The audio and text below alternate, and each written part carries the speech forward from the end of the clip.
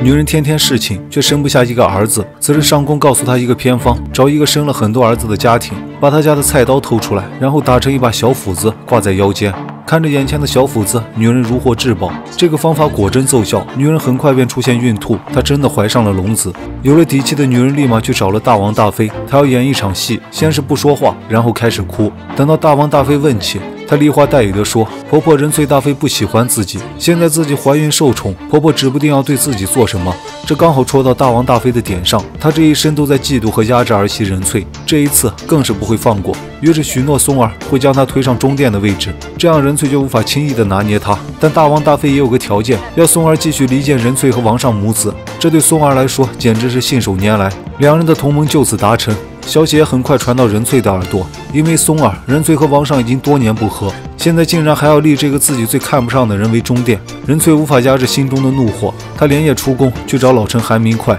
要打掉大王大妃的嚣张气焰。韩明快拿出一张官员名单，朝中几乎所有的重要职位都掌握在大王大妃的亲戚手里，不是不能夺权，而是夺权必定见血，必定会使王上像世祖大王一样，成为杀害至亲的无情无义之人，并永远被后人诟病。爱儿子胜过爱自己的仁粹流着血泪说道：“상당군대가상당군께서과연세조대왕의장자방이십니다。”